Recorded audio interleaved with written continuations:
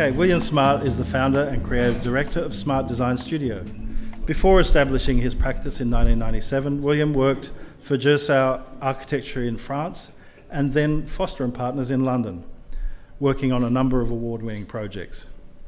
Smart Design Studio has a reputation as a highly successful multidisciplinary design studio with a diverse range of projects, including master planning, multi-unit residential developments, private residences, commercial, cultural and retail spaces. Smart Design Studio produces buildings and interiors of elegant simplicity and high level of design excellence. It is interesting to note that the studio is run with four separate teams, each with its own area of specialisation. I won't go into that in detail, William might mention it, but there's the interior design team, there's the architecture team, there's the private residential team, and the multi-apartment team. William believes that this cross-fertilisation of ideas produces projects that are more innovative with higher quality results, while also managing the risk of cost, quality and time overruns.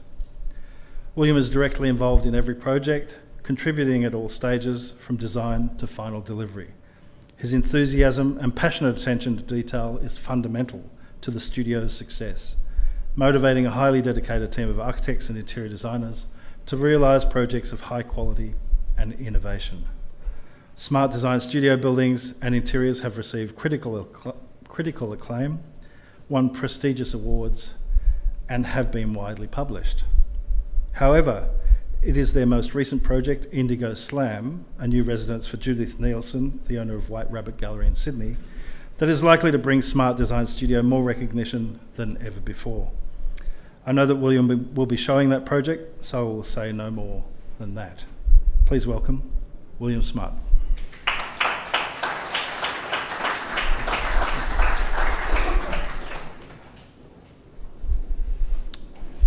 Thank you, Stephen. Thank you, Bob, for asking us, and thank you, Brickworks, for hosting this event, and thank you all for coming tonight. Um, Smart Design Studio is a practice of 45 people, and I'm kind of closely involved with that. Most of our work is residential work on different scales, but we really look for opportunities to be creative. And tonight I want to show you two projects, Indigo Slam the house that was mentioned by Stephen and also a little block of flats we just finished. They're both shortlisted for awards which will be announced next Friday, so we've got our fingers crossed. The first project, Indigo Slam, started with a phone call from a wonderful art patron by the name of Judith Neilson who started White Rabbit Gallery. Some of you, some of you might know that. Um, and she called me and said, I need you to start uh, to work on a new house on Monday for me, and I want it to be the best house in Sydney. Um, if you can't start, then I'm going to call Frank Gehry. and I was in. The, the house was, uh, is here, and this is a little area in Sydney called Central Park, which is an old brewery site.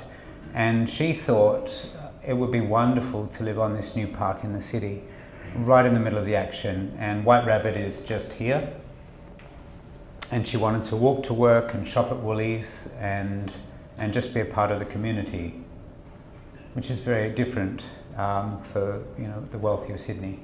So I proposed to Judith to commence the project with an idea of a language for the house that would flow through everything from all the materials to all parts of design. And the language is this, to take a piece of cardboard or concrete or copper and to cut that and fold that and bind that and that be the language that run through.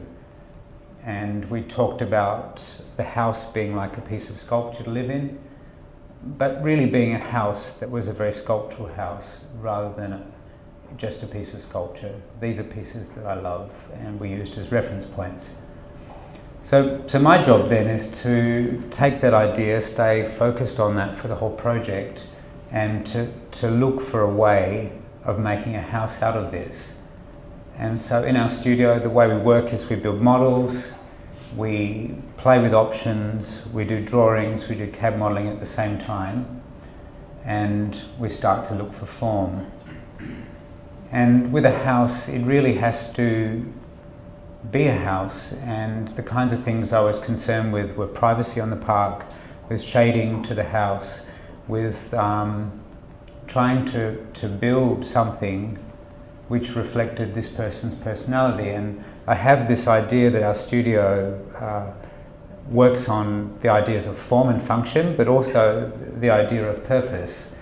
And for Judith, this house has a much higher purpose than to, to just be a house. And the kinds of things she does is she uh, asked for the house to have a dining hall for 60 people, and she hosts events there, which she will pay for entirely. And the idea of the event is that you come along and you spread the word. So I went to a function recently for Anti-Slavery Australia, and then my mission is to spread the word. And it's wonderful.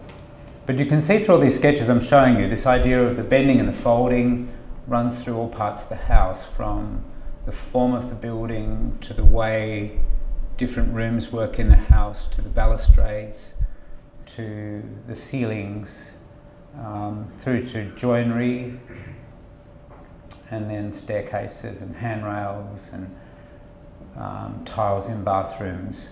And it's just a very simple idea. And with this language, we built a house, and I'll show you the house and how we made it. Um, and it's kind of a wonderful project. Another, another aspiration of the project is to, to have a life of over 100 years and for everything to be very manual and very sustainable. So an example of that was all the, go back to the last slide. Um, actually no, it's forward a bit, but we had opportunity to design door handles and we made all the windows on the house fixed and then shutters above, you know, up high and down low in every room can be opened by, by winding a handle like a Hills hoist. And we had an opportunity to make those out of brass and cast them. And this idea of the language links everything together. You, you can be a judge of whether that holds or not. So we went through this long design process and, um, and then we submitted this to the council and it takes an old warehouse site and retains three walls that are built on boundaries and within that we build an entirely new house. Um, it has solar panels on the roof as you can see, top light, the three uh, walls of south, west and east are blank because they're hard to the boundary and then it opens up to the north. This is the idea of what the house is to look like from the front and a lot of this off the glazing mullions. It's all in situ concrete and is is trying to capture light, bounce light, create privacy, undercover areas and manipulate light in different ways. On the south half of the house we built this long stair hall and all the floors everywhere in the house are brick, the same brick throughout. And then the little guest house at the back takes the same language again and tries to marry with the terraces of the street. Um, that's the internal courtyard. And so the floor plans themselves are quite um, regular in a way. There's little flourishes like rounded bathrooms and so forth. There's a big dining hall for 60 on the ground floor and therefore a commercial kitchen, a little courtyard, a wonderful guest house at the back, which I haven't photographed yet. And then um, back to the last slide, four bedrooms, four bathrooms on the middle floor and a void. And then on the top floor, a private lounge, dining room, TV room and a kitchen. And we're, we're photographing the house properly now because we wanted to wait for the winter light, which is exquisite in this house. And then uh, from that point in time, it's a labour of love. We've been building it for four years. Um, I've personally been visiting site three times a week for four years, um, which I, I, normally go for my jog in the morning and hang out with the builders while I love it. And these are parts of the house, so it's documented in 3D. Every brick is set out in the house, every tie rod is set out on the facades. There's, there's nothing left to chance. And these are kind of great documentation drawings and then how we built it. Oh, yeah. Yeah, okay. And then the other parts of the house. So this language of peeling and folding is most evident in the concrete. And then of course we find amazing people to work with, and the idea that we had with uh, accumulating consultants and people to build the house is that they be people would, that would make it better. And this fella, I'll use my pointer, is a, a wonderful old friend of mine, an amazing engineer. And then these guys are our, our guys in the studio laying out bricks and playing around with them. The client is here. And then this guy is a furniture maker from Adelaide, Khai Liew, who does the most beautiful furniture, and all the furniture was uh, commissioned for the house as one-off pieces. And then this is kind of the construction. So we pulled down the old warehouse and propped up the walls. We dug down into the basement. The house has geothermal heating and cooling, which means we have 17 bores that go 100 metres down into the ground to harness temperature of the earth, which is 17 degrees all year round. And really in summer, the house works on pipes running through all the floors that reticulates water from the ground that is un unconditioned with a little bit of top-up air conditioning. Um, so it's kind of, it's always 21 degrees, it's always 50% humidity, and all that's done in incredibly sustainable ways. This is the basement which we made in traditional brick arches. So see, here you have, on the last slide, formwork. On the next slide, bricks laid over that, and then we skim them and render them like icing a cake. And then you pour the concrete slab across the top and you get these wonderful vaults on on very skinny little columns and then build the main part of the house. It's kind of funny looking back at these slides because you forget it all. This, these, um, these are the glazing mullions here for the house and they were brought and craned into position and they hold up most of the facade and I'll show you why when we get down to it later. And then pouring concrete and then the facade taking shape from the inside.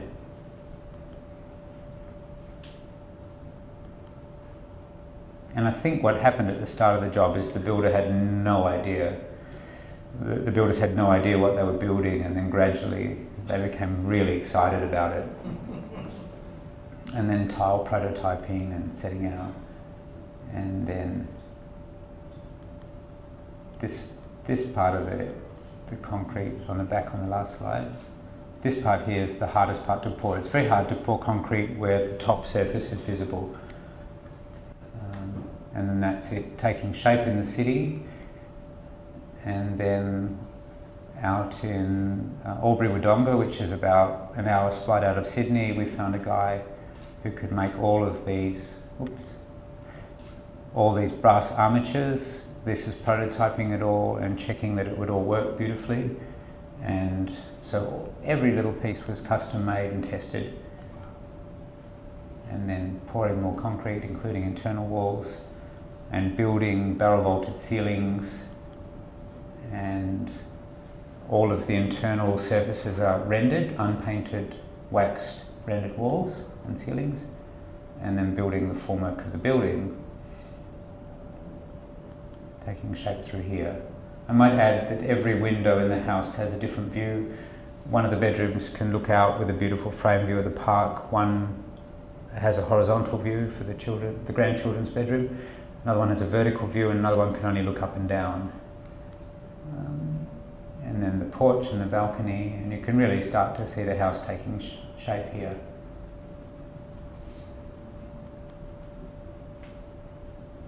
And building this great staircase. And then the barrel vault taking place. So you can start to see through there a room which has 14 metre high ceilings, which is just wonderful. And then more intimate spaces that are off the side of that. Geothermal uh, water pipes running through the floor, and staircase taking shape and then bathrooms and baths made out of little marble tiles. And then all of the window armature going into place, which is brass and will gradually brown off. But we had all of these gearboxes and so forth visible from the outside. And then the light coming in. and then laying brick floors. It was interesting going through with the jury because um, I was a bit worried that doing a very large house kind of loses you points when it comes to an architecture jury. And they arrived and they sort of had a little bit of attitude, and I thought, oh, here we go. and we came into the house, and gradually they were seduced by the light, and a 20 minute tour turned into an hour, and it started to all slow down. And be a great experience, but it's very hard to capture the spatial qualities and the light in these photographs. And also the amount of work, like just, you know, this corner here with the bridge, there's a glass bridge with no structure to it that spans across this part of the house. Getting that to all work was like really hard actually. and this is sort of, we haven't, as I said, we haven't really photographed the inside of the house properly, but you're starting to see it a little bit more finished with the furniture starting to go in for testing and the cellar and so forth through here. And so this is really the final result onto the street and what you have is this uh, concrete facade that adds a lot of privacy so living in the house feels very comfortable on a park in the city and a light scoop here that bounces light into the room. It's got a really beautiful light quality because it bounces light up onto the ceiling and therefore the ceiling glows in the room. Balcony through here, little porch through there.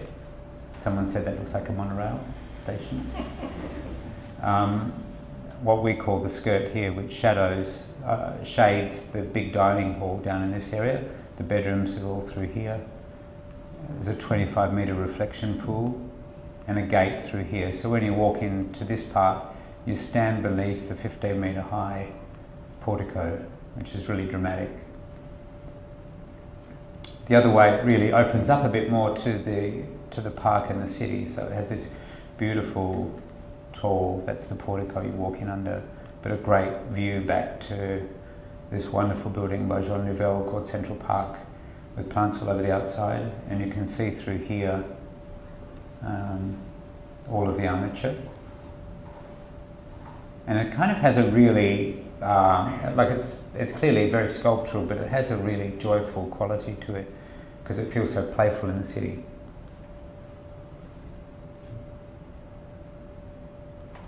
I think back there you can probably all read the the peeling and folding of the facade. It's conceptually made out of one sheet. And then this is the kind of work of the engineers. The the idea we had for the house is that it feel impossible so all of these, oops, wrong way. All of these concrete pieces are supported off the glazing mullions. So what you get there is this kind of extraordinary quality of light from coming to the glass coming down behind that. And then when you stand and look at it, you can see this point where it's 150 mils of concrete and you can see one side and the other side and no structure holding it and it's perfectly straight because we calculated the precambers and got all that to work. And then as we're building it, you know, it's really exciting to see these kind of beautiful shapes and shadows and um, it really taking shape. And then on the ground plane, it kind of, um, it has this wall which is about, probably about this high above the ground, so you can't quite see into the dining room the dining room is up another metre, so you get a lovely view out of the park. And then a pond running on the front to reflect kind of great light up to the building. The gate is a big sliding gate out of Corten steel, and we just cut the blades a little bit back. So they're 50 mil blades and they're recessed 10 mils to, to, to, to carve effectively the name of the house and the name is just a book that Judith likes called Indigo Slam. It's a crime novel. She bought it at the airport and thought, that's the name of my house. and I knew when she told me that story that that meant uh, much more than that, and I asked her about it, and she said, well, she'd always been told where to live and what to name the house, and after the third grandmother or whatever. and this time it was just about being free and doing what she wanted. Um, very long 25 metre reflection pool. Um, she wanted some little pictures of little fishes carved into the bottom of the pool, and, and then we agreed we'd do a little poem in the bottom of the pool that would be about the light and the qualities of the light and, and dreaming and stuff like that. And then the windows opening in the house, so you can see through there. The glass is always fixed. The shutters are made up of doors, so it's a timber door with aluminium on the front and the back. And these brass armatures here open and close between six and nine windows in succession. So you wind one handle and all of the, the six windows in the bedroom on the bottom open and that's great for ventilation in winter because you want the air to come in from below. In summer you open up the top ones and you get a nice breeze through there but it's just winding it from handles and then these are kind of some of the final uh, spaces. So these kind of beautiful classical rooms that have a kind of a twist to them and a modernness to them. And she's kind of an amazing art collector. Um, so we got to put in their beautiful pieces of art. So this traditional Chinese painting here is made from one million nails. They're just little nails hammered into a wall. And there you can see this kind of language of peeling and folding, building a house that's got to do all the things that a house has to do. And then looking down through uh, the stair hall, so beautiful 14 mil meter high ceiling, and the barrel vaults through here just peel away to let northern light into those rooms, or down through here, or down through the back at that point. Some of the ceilings we made very low. One of the datum heights is about 2.04 metres, which is Judith's height when she reaches up. And all of these corridors have very low ceilings, which is quite exciting off the side of a very tall space.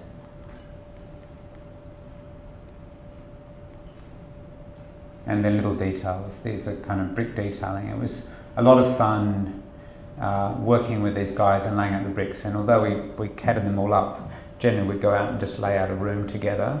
So I was up on site last week laying out the courtyard bricks with the guys and we just test them all out and then that when I go back next week they'll be done. And we've got to make all these things, so little hatches in the floor for floor boxes, as well as handrails that are leather clad with little brackets that reflect the theme of the house. This is the bridge that crosses um, the void, which has no structure in it, and you can see through there that the details all follow through everywhere. And the guys who just, they got right into this detail and loved how beautifully it's made. and then the spaces, that's Judith's study through here. And she looks out to a white wall when she looks. And then kind of beautiful spaces there's a little Juliet balcony through here that peels away. And because uh, the palette is so limited, so it's hard set rendered walls unpainted, brick floors, marble in the bathrooms, and wood for the shutters, it, it has a tremendous sense of continuity through the house. Now she's a very famous art collector, but she thinks the house doesn't need much art. It's better to leave it empty, which is really nice of her to see. And then the other thing I wanted to, to make it feel like it is it was made for her and for a lady, so it's kind of very kind of, I think, a very delicate touch to it. And, you know, places for everything like your hairdryer. And then we made this copper bath, um, which has a little seat on the end where you can sit in there and then the floor grates are all recessed. So it's quite um, kind of spare in its detail in many ways. The kitchen's through here, and I guess again the, the idea of the user inspires the detail. So she has quite arthritic hands, and therefore we designed all the way the doors open to to kind of be really generous and, and comfortable. Oops, jumped and then little touches of peeling and folding through all the details. And this is kind of great. We got uh, slabs of granite and you cut them and then you can rejoin them and you can't see the joins and then you carve out of it. And then all the, the blinds on the house are all shutters that were made up. So we could expose all the mechanisms through the slot and all of these you manually open and close with a chain. Would have been much easier to, to make them motorised, but that's not the house's brief. And then lastly, there's a little winder on the window.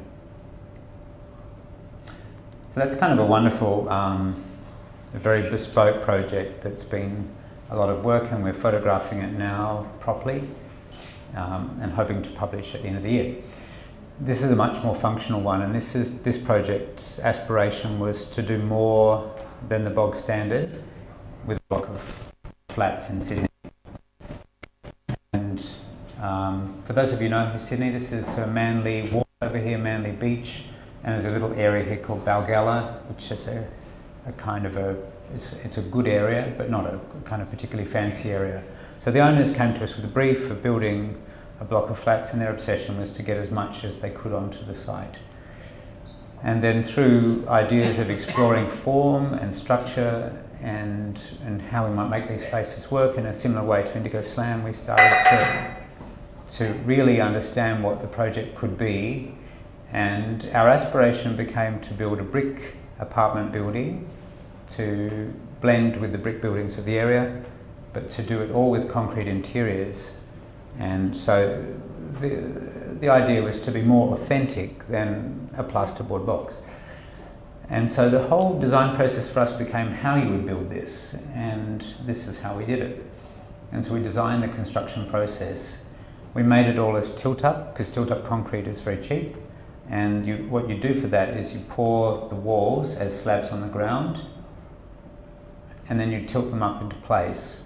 And that means we're tilting up four stories of walls in one go, which is exactly the width of the property and then once you've tilt them all up, you prop them together, and then you bring in concrete slabs. Now, concrete slabs, getting the underside of concrete slab, as I've learnt on these concrete houses, is very easy um, if you use galvanised reinforcing and um, and you, you're reasonably careful with how you control the surfaces. Doing walls is hard, and that's why we do them as tilt up. Then after that, we put a lightweight top on the house and some on, the, on the apartment building, and then some little partition walls that go in the balcony spaces, and then brick facades on the outside of the building, and then cores within the space and a roof, and that's the building. So it has a lightweight top, brick facades on north and south, light wells on either side, and it's almost symmetrical. So this is the mirror of that apartment and they're pretty much mirrored on the front and back. And then a little idea we had with the facade was to make double height spaces. So if you had this apartment, you could look up a double height space or down to the level below. And therefore your private balcony was, was off to the side and then you could, um, or in the middle through here, and get some spatial dynamic and some beautiful light qualities commercial floor downstairs, and then those mirrored apartments going through the building, and then up again, and then setback top floors, which are supposed to be in a roof space, because the client's obsession was to get as much space as they could into the building. And then brick facades, and I love um, brick. What we use through here is a system called Ancon, which is a way of getting all of the lintels invisible, so they're they're like suspended bricks on the edges. And these were the renders we prepared for the clients and for the council and the ideas of what the interior spaces might be like and then how that might translate. And so the construction was to take this site here and knock that down, tilt up our concrete walls, very easy to get a good finish on tilt up concrete, and it's not hard to get them into place. Prop them and then pour concrete slabs going up through the building which wasn't galvanised in this case and the problem with not galvanising is when it rains the rust runs off so you had to tarpaulin it all.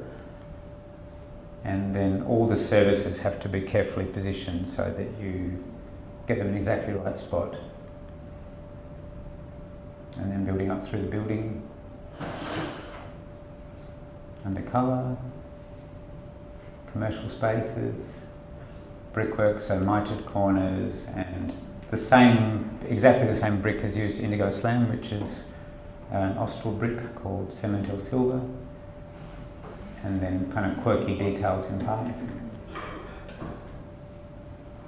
And then that's the start of the Ancon system, so it's got little hangers in between the bricks that hold it down so you get those lovely reveals, and then taking shape. And I quite like that combination of brick and concrete together. I think it's really nice.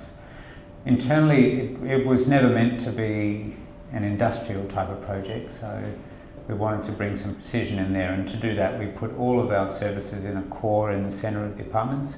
So there's a kitchen and then two bathrooms and the robes consolidated into that space as well as a laundry.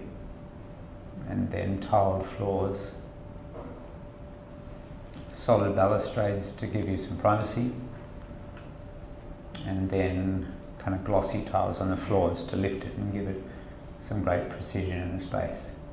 All the glass line is set back and then the spaces. And then these are the kind of spatial qualities you get from looking up and down. You can look down to the street or you get a punctuation of light from above. And then quirky details in light entrances. And so the, the, achievement for us is building this for two and a half thousand dollars a square metre, which in Sydney is cheap. From above, you can see the lightweight black box of um, the apartments that have to fit within a roof form by the council. This kind of patterning of the double height spaces through the building and the bricks that run across the facade the south side of the building has these wonderful lemon scented gums and another story to it, so it's a really beautiful facade of the building. Very plain, I think, as well. And there you can see the, the detail. And then those little quirks, like the way that the entry is denoted through there. It looks like a door, but it's just brickwork leaning back colour in all, all the common areas. So we went to town with contrasting colours in doorways. And then the spaces internally are really quite, quite simple and restrained. So you can see through there the centre core, which contains kitchen, bathrooms and laundry. Everything in the kitchen is integrated it's all kind of very gridded up, so all the panels are identical. The kitchens are all black, including taps and ovens. Big lights. We, often we'll talk to manufacturers about taking an off-the-shelf product and making it better. So this is a kind of a daggy one that we said paint it black, make the, the bottoms flat. and they, they, they get on board. And then details of the space, sorry. In the bathrooms, we went through that um, theme of black and cream and did all the joinery in black, including taps and loos and basins. And then on the top floor, where there's no concrete, it's just a very white, simple space.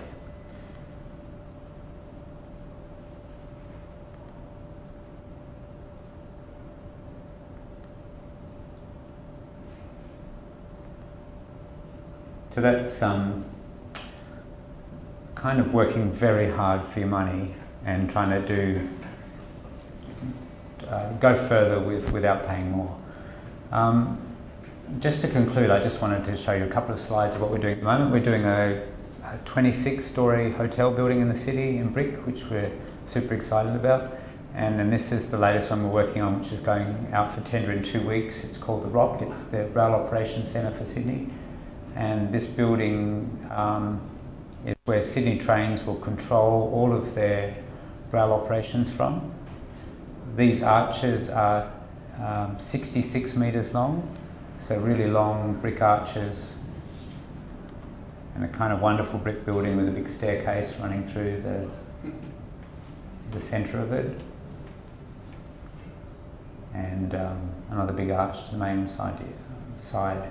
The concept for the building was to present itself as a piece of railway infrastructure for the people that worked in the, the trains.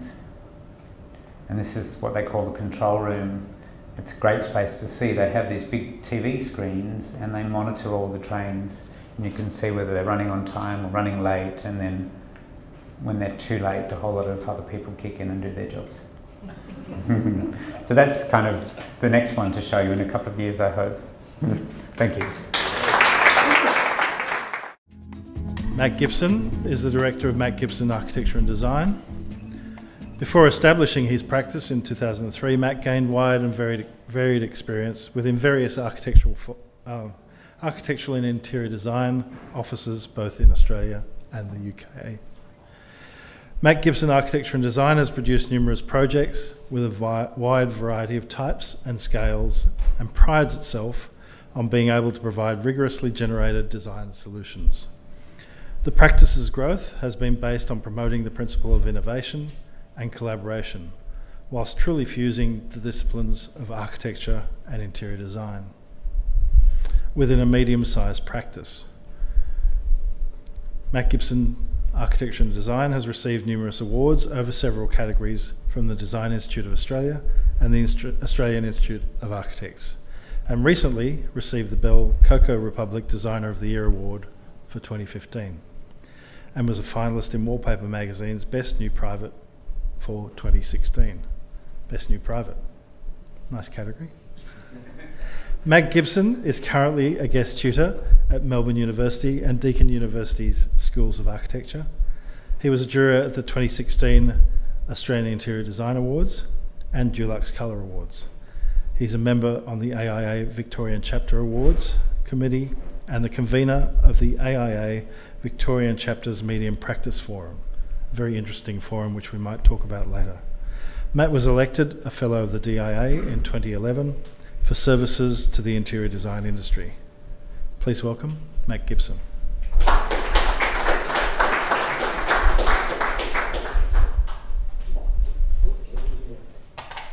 Thank you, thanks Stephen, and thanks Bob. Um, I might just say that I feel very much the warm-up act to um, to William's work.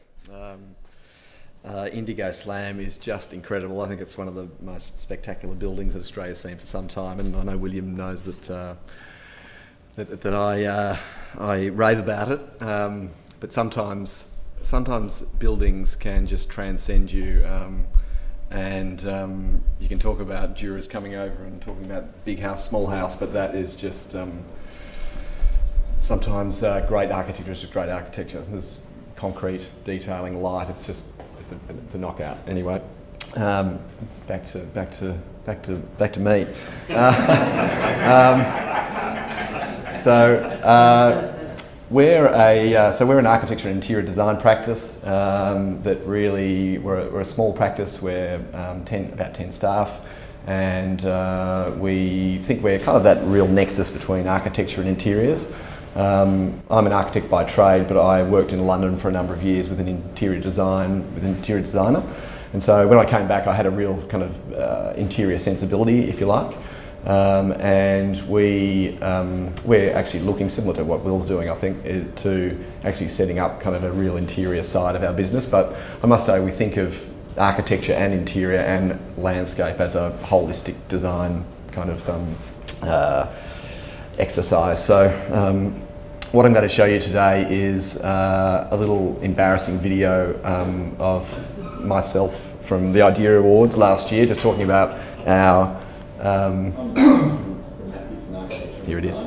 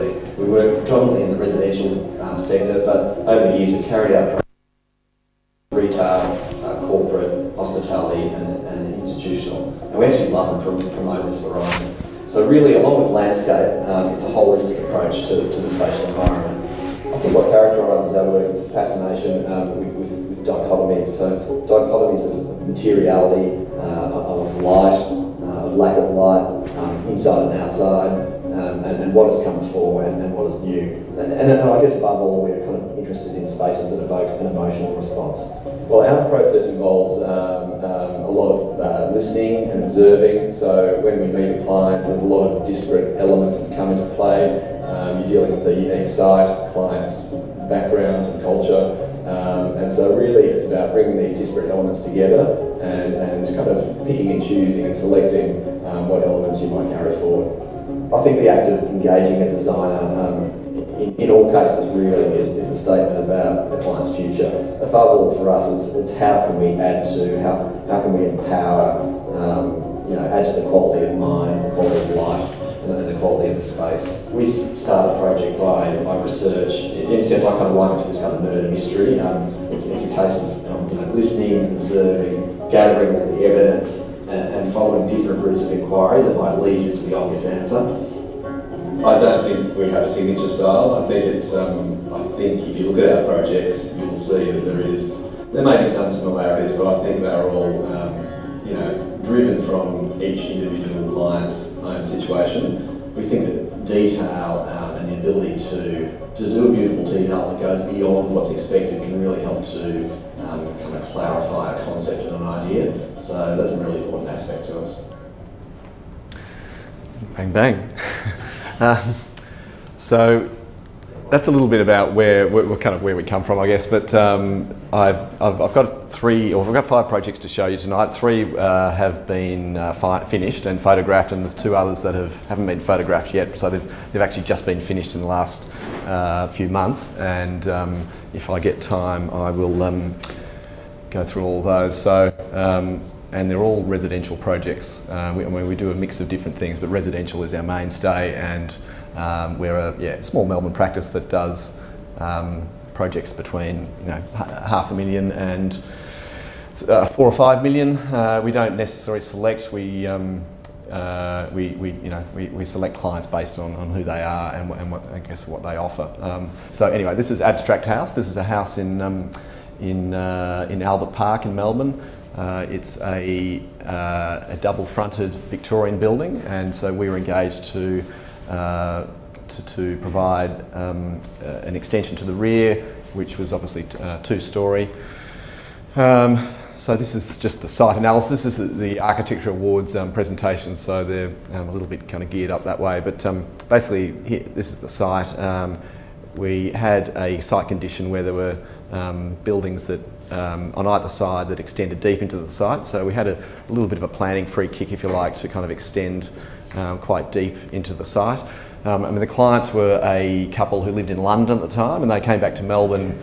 Um, well, they came back to Sydney actually to live, and so they were never actually in Victoria. So a lot of a lot of the design uh, was done remotely, um, and um, uh, and they came with a bit of a kind of a, a this British modernist kind of sensibility, um, and so most of their scrapbooks of images had kind of come back with a yeah quite a kind of European modernism um, uh, guise to them. So anyway, um, we uh, this was the existing building, so the the, the, the, fabric of integrity was this, these front four rooms, and then we removed this, this rear um, uh, element to the building, a lean-to structure. You can see here the existing site has uh, deep kind of high walls to the boundaries, uh, and then this was uh, removed. I mean, the original owners of the house um, actually had owned the house. It was a deceased estate, so they'd owned the house for almost 100 years, and um, um, so there had been little change. So um, we removed the rear off the end, and then the new uh, land was um,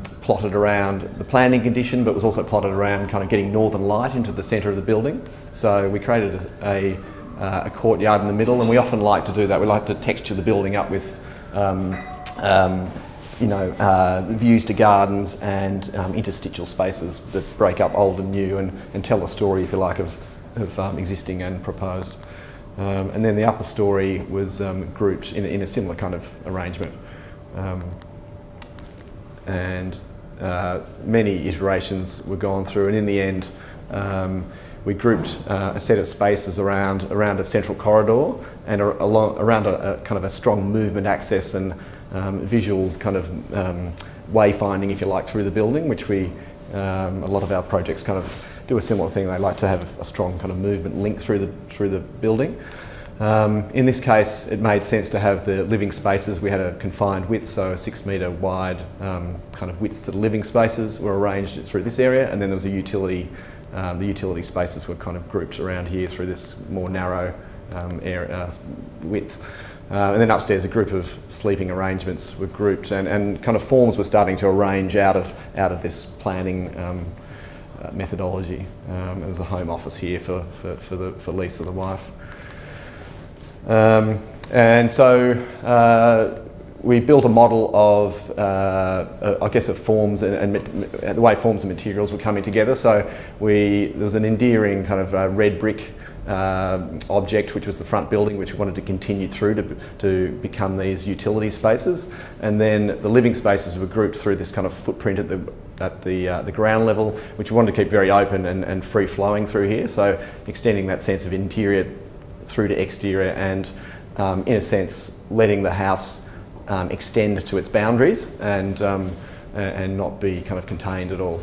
Um, and then this object above was a uh, it was done in a zinc material and it just kind of purchased itself above the, uh, the ground footprint. Um, and so you can you can see the rear of the building here with the brick uh, the brick facade and the I guess um, it's kind of uh, strongly diagrammatic um, um, this assemblage of forms and in a sense these abstracted forms um, um, and abstracted material. So from front to rear we've kind of abstracted um, and done a contemporary version if you like of, of um, the slate and the, and the brick from the front. Um, and you can see in this diagram here, so we're trying to keep similar colours and, and textures and um, from front to rear. Uh, and so this was the existing plan. Um, the front, front four rooms uh, involved bedrooms generally, and then the living spaces to the rear. So we uh, utilised those front spaces for the more formal spaces within the house. So there's a uh, sitting room and a dining room at the front, uh, a Matt's, Matt, the, the, uh, the client's study and a guest bedroom, and then it comes out and opens up into a more open arrangement. So there's um, uh, courtyard and living spaces and then that peel off that main spine and corridor and then the utility spaces here, so kitchen, scullery. Uh, there's two stairs that grouped on top of each other, one down to a basement and a cellar and the other one that goes up to upstairs. Uh, and then upstairs was really sleeping quarters, so there's an arrangement of bedrooms um, and Lisa's um, kind of uh, um, uh, office area that overlooks neighbours. Um, and so we disassembled the two objects. So there's the, the, the, uh, the existing object and then the new object. Um, can't quite see, it's, it's in grey. But um, anyway, there's, there's an interstitial kind of space between old and new here. And, and then this is the, this is the section going the other way. So um, down, downstairs area and, uh, and, um, and upstairs. Um, so this is the interstitial zone here between old and new, and we tucked in a bedroom within the within the uh, within the, the roof. Um, it couldn't be seen from the street, so we often engage with heritage architects. We um, uh, we, we, we, treat heritage very seriously, and we love doing um, heritage build. We love doing adaptations to heritage buildings. We love that kind of sense of storytelling between old and new. Um, and just those connections, and I think that's the, the fun of kind of what we do is um, you know, you get a number of things put in front of you and you make decisions about which fabric do we retain, what do we change, what do we renew. Um, and so this, uh, yeah, this, generally with brick, I mean in this house we used a, um, I'll keep moving, um, we used a, uh, a, Daniel Robertson brick, uh, which was a Roman brick which um, uh, was kind of a contemporary incarnation, I guess, of the red brick. But then we also use a lot of resalvaged brick, and you'll see it in a, in a project coming up that we often try to resalvage the brick from the existing house, and, and if, if that won't do the whole thing, then we'll, we'll find some other brick that matches that brick. Anyway, this is the view down to the northern courtyard. Um, so getting kind of northern light through here and, and always having a view onto a garden space. Um, uh, you can see the view back here to the front door and um, we've tucked some doors into some pockets um, on either side and uh, I guess we really like that kind of sense of detail, that sense of inside outside and um, concealing all the all, all the glass and, and all the um, uh, all the glass and the, and the and the blinds and and everything so that it's a completely clean um, uh, manipulation of space. Um, uh, so anyway, interstitial zones here between old and new, and and we've opened it up so there's no columns. It's all uh, free flowing. Uh, this is the existing house. So here we restored all the um, existing spaces. Um, so kept all the cornicing and and, and uh, skirting. And here you can see we kind of popped down that room above, in, so there's a lowered ceiling here and and a, and a taller ceiling here. So kind of sitting drawing room and uh, dining room. And this then is into the rear spaces, which are more informal, and there's a more informal level of detail, um, and again, the, the, connection with that green space. And view through to the rear. Uh, so here you can see through the uh, scullery and bedroom, which gets a view through to the pool, which is there. And again, those grouping of architectural elements. So, I mean, originally we wanted to do the whole place in brick and, and originally have this all in brick and brick tiles all the way through, um, which got knocked on the head, I think, because it was, um, client thought it was might have been too dark or oppressive. Um, but uh, we, we, we did utilise it in certain areas. Anyway, um, this is um, uh, the track, which we custom developed with a fabricator that we use all the time. We use this on all our projects, so it's a, it's a track and sill all in one. Um, so it's a drainage um, sill and track, um, which means that we get this lovely flow of continuity of material. So whether that's stone or whether that's timber, we can run that inside outside. Um, and you can kind of see similarly here that we've buried the, the, uh, all the channels within the structure so that you get this completely clean, um, unabashed um, kind of continuity of material. Um, so here was, this was the brick. So again, um, uh, yes, what, so we've used brick snaps here, so they've been glued to the ceiling. Um, and we've used that in another project as well. Um, so it's, I guess, look, it's a more budget-driven response than, uh, than, than, other projects, but that's what we used here, yeah. So this is the view from Lisa's uh, uh, study space out um, over the suburb. And again, so it's a kind of a, a manipulation of heights and um, volumes.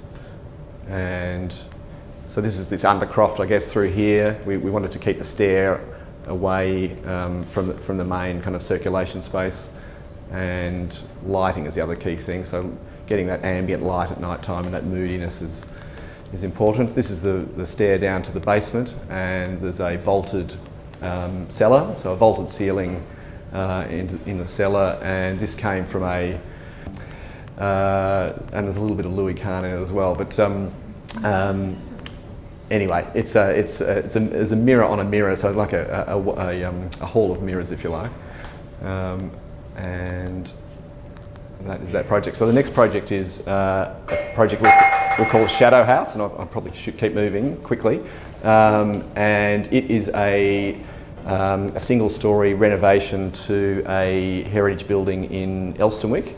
Elsternwick is a area in Melbourne that is um, uh, kind of notorious for its um, garden, um, tightly held planning regulations. Um, and so it's, uh, it has a, a number of uh, number of uh, Edwardian buildings, so reasonably sized, and uh, Edwardian buildings are known for that kind of steep, picturesque roof form.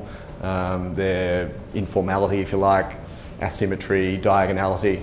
Um, and so our, I guess our response wanted to be contemporary, but it wanted to um, kind of um, enter into the spirit of the original uh, designs and provided it didn't obscure um, the concept of the, of the, of the significant fabric. So um, this is the original building, and then it had an 80s addition um, added um, in, in, the 80s, kind of through from this point onwards. And it grouped a set of spaces that meant that all the living uh, areas were facing south and all the bedrooms were facing north, which was not ideal. And it was situated up against the northern boundary, so and had a kind of a garden in shadow. So um, we removed the, uh, the non-significant fabric and then grouped a set of spaces um, around getting northern light into uh, the rear private open space and into the living areas, um, which was kind of a little bit awkward because we wanted not to attach the, the new fabric to the old necessarily, um, but we didn't want to create a big house either. So um, in the end, it was about um, uh, so, so we actually reduced the number of bedrooms, but we increased the living space. So um, it was really about getting a kind of responsive site outcome, and um, this is the way it kind of developed. Uh, so it was about getting northern space, northern light into these living rooms, and maximising this northern flow. Um, and so, in the end, it, result, it kind of re it revolved around these uh, three objects, if you like. So a brick object, which was the existing uh, quarters, um, a timber object, which was the utilities, and a zinc object, which was the guest quarters and carport. And in between these, these objects, if you like, is a series of interstitial living zones. Um, and we developed a number of form models to, uh, for, for, the, for the new fabric. We wanted it to be one unified kind of material form, if you like. And then underneath it was a, I guess, a kind of conceptual um, crumpling up of paper, a plaster ceiling that, that draped itself over these, these objects. Um, and this is, uh, this is, this is it. Um, so this kind of um, white underside of the, of the fractal ceiling that kind of, uh, or the faceted ceiling that um, wraps itself around the old object but doesn't touch the old object and so you get this lovely kind of light coming through into the southern spaces and a clear distinction of these, you know, timber, brick, zinc and brick. Um, this is the front of the house so we deliberately wanted the new works um, to be in the shadow of the old building and we wanted them to kind of meld in with the greenery of the garden and be kind of secondary to the heritage fabric. Um, you can see here. Um, and back to that plan. So there was a, uh, a gesture kind of between old and new here that we wanted this to be very transparent and non, um, uh, non, kind of opaque or, or, or, or solid. Um, and also there was a, yeah, a, a, separation through here where the old fabric doesn't touch the new. Um, this is that, that separation of um, old uh, of, of, the zinc building and the brick, and I guess it kind of it, it, creates this yeah interstitial zone between old and new, but also extends out the the living zone into the front yard and makes a connection with the street. Uh, and you can see here that disconnection with the old the old fabric. And there's a lovely kind of um, green area here that will grow and is now fully grown over time, and the, the, the owners can kind of manipulate that as they need to, or a new owner could too. They can make it more private, less private, have a connection with the street, or um, let the light come in as they please. And, and I guess uh, this was a collaboration also with um, Mim Design Studio, who are an interior designer, and also Ben Scott um, Landscape Architecture. So it was a great kind of um, connection of three different practitioners and um, I think um, the result kind of shows the richness of that connection and sometimes that was difficult but um, I think uh, it has kind of worked very well and, and the end products turn out you know, really well. So uh, this is this is again showing that disconnection with the, the brick building um, so getting light through here having a very soft um, and, and unobtrusive connection. Uh, this is that interstitial zone. Uh, you can see here in the in the in the um, in, in, the sections that the disconnection. Um, this is the front door area,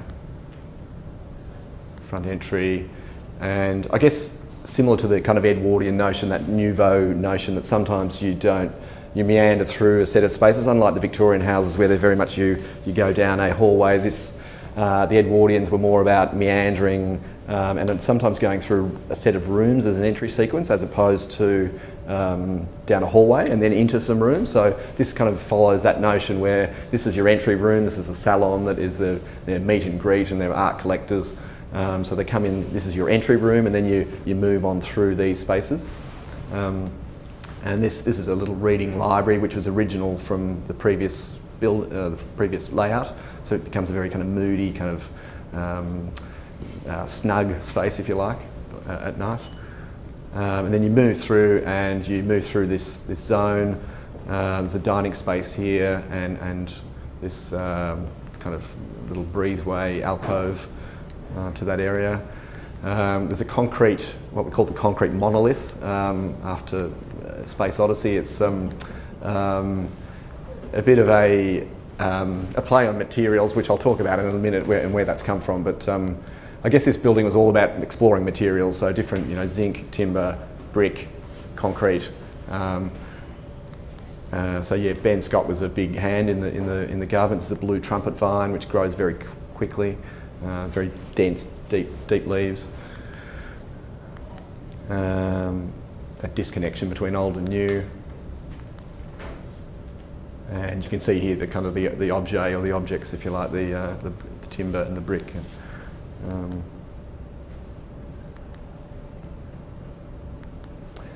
and so, yes, the concrete, we wanted to, um, I guess part of what we like is the dichotomies in design. So those um, elements where things are set against each other. So whether that's old and new, light and dark, um, materials that are um, distressed or polished, um, we like that. We like playing those off against each other. So I've always I've had this sitting on my desk for years. This was just a slab on another project, just a floor slab, um, and just thought how wonderful and beautiful this distressed nature was. And so um, what is called a, a, bony finish, which is like a um, uh, it's not a dry mix, but it's a mix that has um, uh, low small aggregate and a lot of big aggregate. Sets fast and um, anyway, it, so we, we, we poured it like this, and, and, the builder said it was the most perfect, imperfect um, concrete that he'd, ever poured. Um, and this is just showing detail, so um, the cutting out of the brick to, to house the double glazing, um, uh, this connection here, and we had to have a double gutter so that people could traffic through here. Um, and just some of the building shots, the, the construction shots, I can come back to those if need be. Um, and obviously there's a lot of rigour by the builder getting all these points to, to, to all align at the same point. Um, all the water retention um, um was a bit of a feat in itself. Um, water e egress, I should say. And here's just the, um, the cladding of that, of the zinc. and so we like, we like a level of detail. We like, we're, we're, I guess we're conceptual architects, but at the end of the day, we're driven by our detail. We love the pursuit of great detail. And uh, so this was getting this lovely drain and this continuity of floor finish. Um, that's the rear of the building.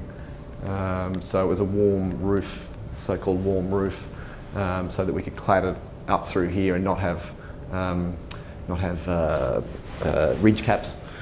Um, and I guess what it was challenging, what the whole project was challenging was um, having the concept of heritage buildings. This is all in the her heritage, Elsternwick heritage area where poor quality design um, you know, connects itself with heritage design and in effect brings down the integrity of that design. What we're doing is um, completely contemporary but set off the um, existing building and so we think that that is a, um, you know, it, it, whilst it's contemporary now, we think it's something that will hold for the future. Um, so, oh, was a quick little video there.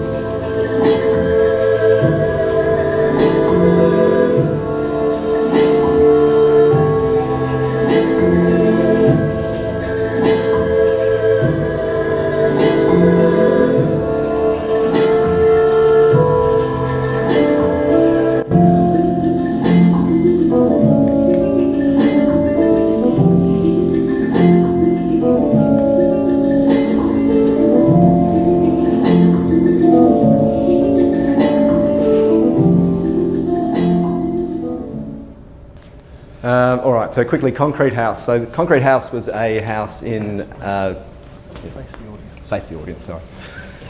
Uh, Concrete House is a house um, that we did in, um, uh, in, in Hampton, in Melbourne, um, and it was the client was a, um, a, a builder and a concrete, an expert in concrete. So they came to us with a quite specific brief, um, and uh, the, to use concrete basically as the prime construction material and and um, make a feature of the concrete. Um, I feel that this is not comparing to Indigo Slam by any means, but um, uh, and he's no uh, he's no art benefactor or anything like that. But anyway, it's um, it's our humble little concrete house. Um, um, so this was the existing site.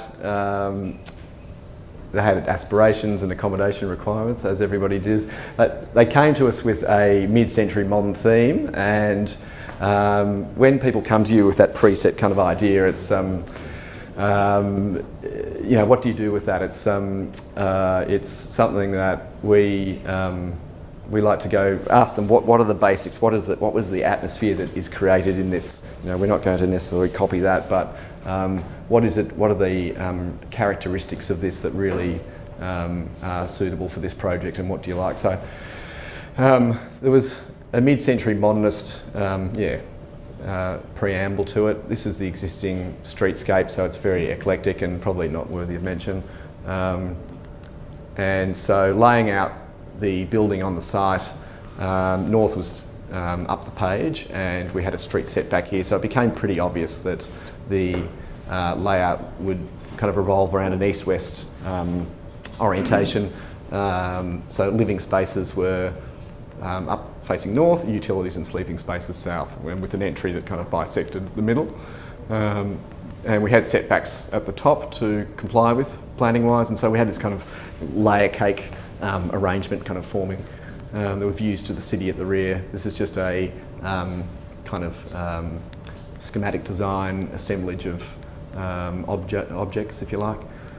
and so this is where we got to in the end. The, the floor plan involves, uh, as I say, a set of living spaces. So you come through the, the entry here and the master quarters are situated to the right. So there was a master bedroom, a uh, master ensuite and a, and a reflection pond and then a, a powder room and um, uh, the White Ann's kind of study area, and then um, and then you go through to the rear uh, and uh, a, an assemblage of living spaces, and then you go out and there's a pool and outdoor entertaining. Um, every space had a view to a garden, so that was a prime kind of um, requirement. So every every space has a view either to a private garden or to a, a larger garden, um, and um, and then the upstairs areas are kids' rooms and a, a, kids' retreat area which overlooks the rear garden and a large void, so a double height area to the living spaces. Um, so in the end, we, we built boundary to boundary. Um, the stone is sourced from Greece. The client is, is Greek, and so this had a kind of sentimental um, um, uh, attachment to, to this stone. And so I guess in a kind of programmatic sense, the stone um, is clad over anything that is concrete block, and then the timber clads anything that is openable. So this is all garage doors. This is these are um, uh, louvered bifold um, shutters over this window, and then there's a, a steel shroud, if you like, that um, clads the entry area, and then over this perch is the, um, the concrete um, uh, the concrete kind of box, if you like. and so there it is there. Um, this is the entry area, so it had a double height void and, and a bridge between, um, between the bedrooms and a, a light kind of uh, light well above it, light uh, skylight. And then you drop down into a, a lower set of rooms. So it was um, a sequence of uh, evolving spaces, if you like. Um, this is the central area, uh, so the, um, the, the, living zone. Um, behind here is the uh, the, the, formal living, and above here is the retreat. And there's, we wanted to retain the verticality here, so these are actually kind of mirrors um, here, which meant we could retain this vertical element and have this kind of flow of material and space. Um, to the right, these doors uh, all open up and there's this 16 metre long kind of open glazed um, window. Um, so more of that central area. Concrete again used throughout. Um, and some of the the more intimate areas, although it's, um, it seems like a grand space in spaces, we wanted to kind of keep that kind of uh, textural haptic quality to um, a lot of the other spaces. So timber and, and leather were used in, uh, in, in, the, in the more intimate spaces and again uh, through here, so concrete, bathroom and, um, and stone tiles in the courtyard. Uh, this is this rear cabana area. Um, so we uh, worked with Rick Eckersley Landscapes. He did all the um, all the landscaping, the pencil pines, which again has that kind of slightly European uh, mid-century sensibility. Um, some of the concrete detailing and the, and the, and the, the stone, um, and really the architecture and the tapered edges to that concrete box was about um, was about disguising views to neighbours and, and um, getting views and, and um, creating sun control, but it was also about breaking down the, the, um, the, monolithic nature of concrete and really bringing it down to something that kind of belies the nature of what it is and getting a really soft, thin edge to it so that you'd almost think that it may not be concrete. Um, here's the detail of that, here's that formwork. Um, I guess similar to Will's, that top side's always a difficult one to um, achieve the right finish. Um, and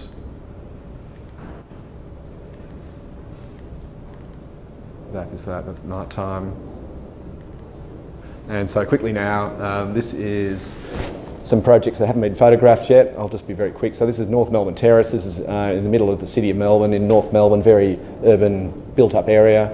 Um, and uh, so we did an investigation on the um, the streetscape, the fabric, um, catalogued a lot of. Um, uh, I've lost that slide, but anyway, we did a cataloguing of all the different brick buildings in the area. It's very much like an East End London. There's a lot of, um, all parts of Sydney for that matter, a lot of um, Victorian, boom time Victorian buildings that then have these piggyback kind of wings, if you like, and they, have one wing and then another wing and another wing. Um, and so we wanted to play on that, um, do a contemporary kind of incarnation, if you like, of, um, of a Victorian wing.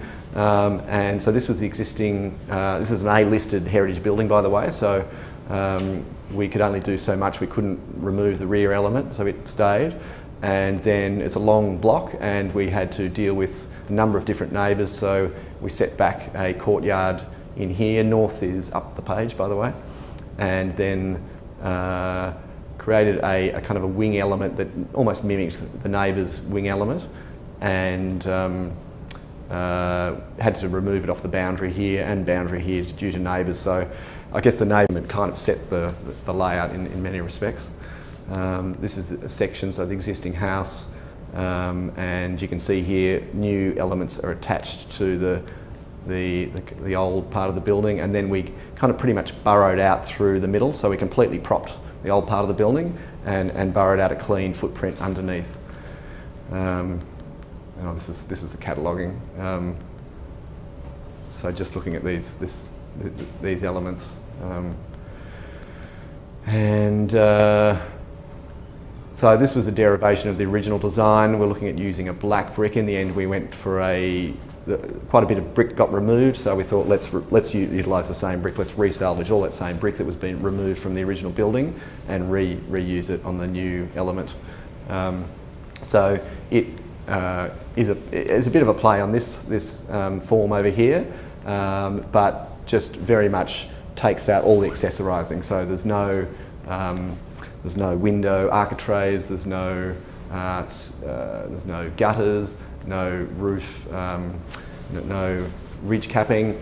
It's all very clean. So we've used a steel window, brick walls, brick roof, and, um, and hit and miss brickwork through here, which um, is due to privacy, but also getting light into, into these areas. Uh, so this was the existing plan. Um, and then you can see we've uh, ground level, pretty much burrowed out through here, clean footprint, upper floor. We've attached this element to the existing zone and created a void through to get some uh, vertical connection from front from, from ground to first, and then a series of bedrooms. So uh, yeah, existing rooms, common bathroom oh, and toilet, and, and, and some bedrooms. And you can see here the connection of this roof. Uh, so these are just construction shots, which weren't that long ago. So this has all been taken out and this has been propped. Um, and these are just the SketchUp images. So this is this kind of, again, this courtyard through the middle, which we needed to do to set back for that neighbour, but it creates a nice light air connection for the middle of the house. There's a barbecue and a um, kind of uh, kitchen meals area, and then you go down a level to uh, the, the, uh, the rear area. And we wanted to actually expose some of the older elements, so rather than covering over them again, let's, let's actually um, remove the plaster and have them uh, el natural um, and, and, a light ability to get light down through the levels as well. Notoriously, the Victorian houses are very dark, as you know. Um, and then this was the so the rear elevation. So we wanted to kind of disconnect, um, have this clear, and almost almost looks like this floor has kind of just pulled itself up off the timber floor here, and then the brickwork runs around and, and runs around through here in a darker coloured garden to match in with the brickwork. Uh, and there's a wall of joinery along this side. Uh, and now here it is in reality. Um, these are some of the, again, this is, these are just happy snaps, but um, you come through here and we've, this is actually a laundry um, within this element. So it's all very tight and confined, but we've run a more contemporary kind of um, smooth surface to run around and tuck um, in under here, the, the old brickwork, and then a timberline ceiling. The courtyard you can see there again we've kind of recessed um, doors within brickwork which was a bit of an effort here getting through concrete and um, and then the upstairs this void so um, beautiful getting lovely light down here getting this lovely texture utilising that old system of the uh, those old S ties that they used to use um, and just some other images um, and so the brickwork, uh, so this was all resalvaged and the roof, unfortunately, is not a solid brick roof, but um, uh, it's pretty close. Um, it's, uh, it was, look, it was a budget-driven project. This was about a million dollars or 1.1 or so.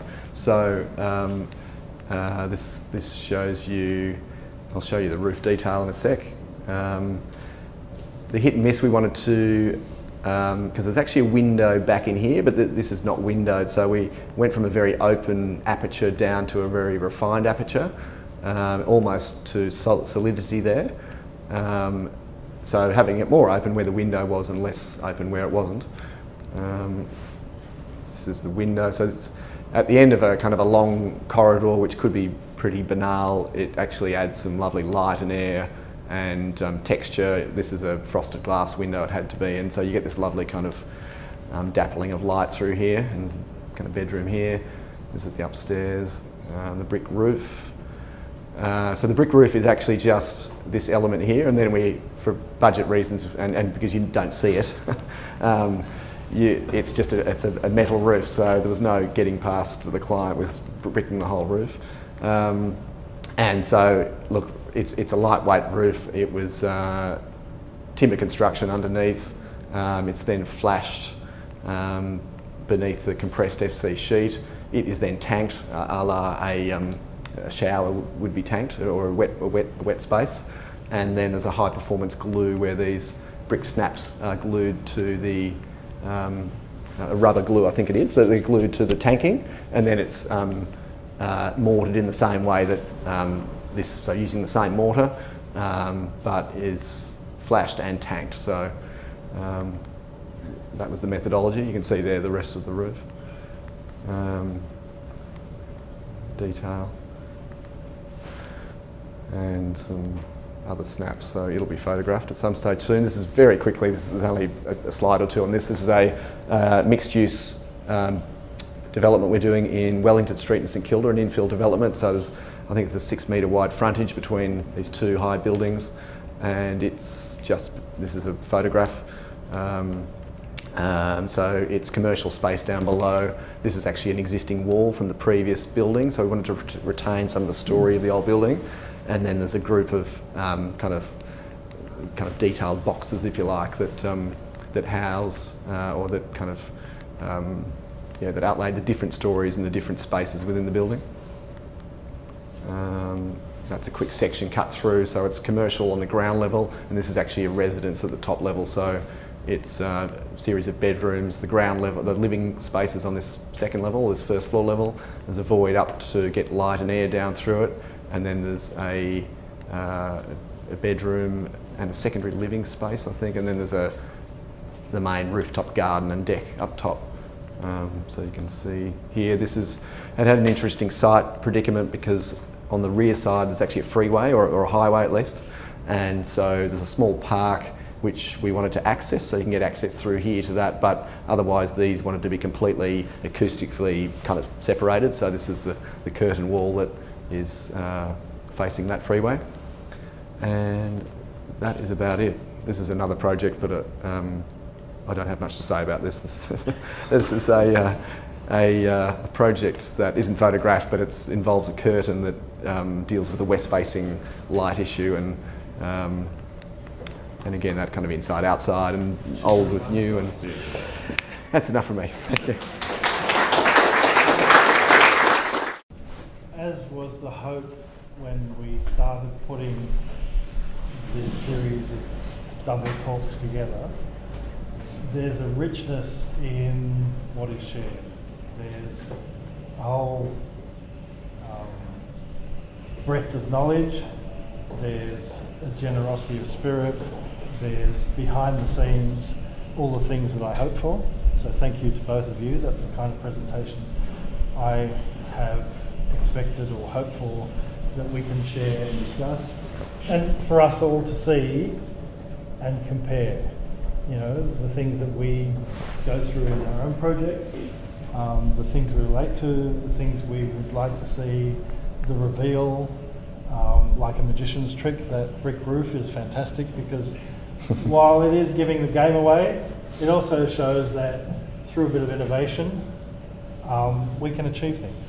And there is sometimes a bit of sleight of hand.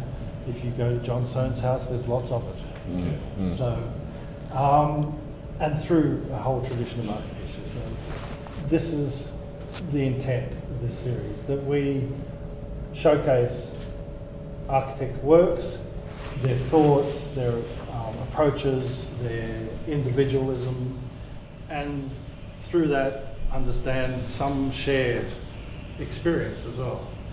Um, then on the word experience, both of you have used it and um, express the desire in your work to create experience.